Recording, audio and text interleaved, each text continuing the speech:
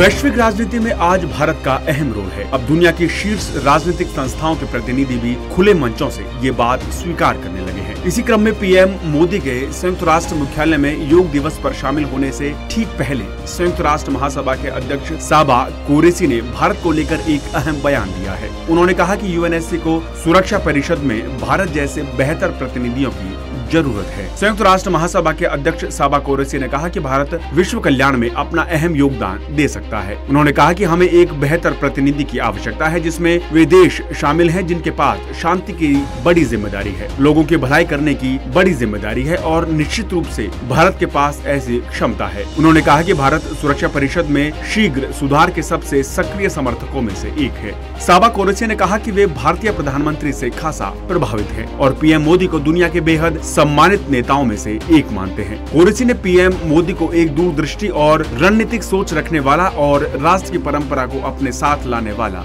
व्यक्ति बताया।